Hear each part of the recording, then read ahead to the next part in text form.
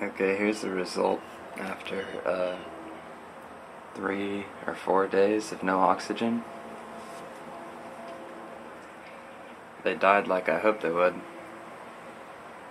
Or at least I think they're dead, because none of them are moving.